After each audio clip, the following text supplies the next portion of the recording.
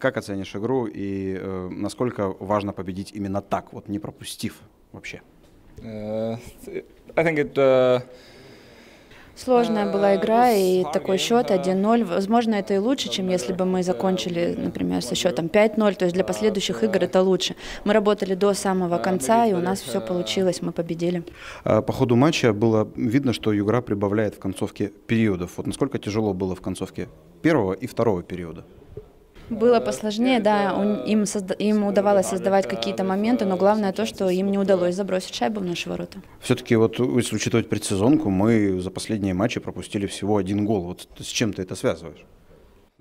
Мы очень хорошо играем в обороне и хорошо играем и в их зоне тоже. Может быть, поэтому, именно поэтому результат такой хороший.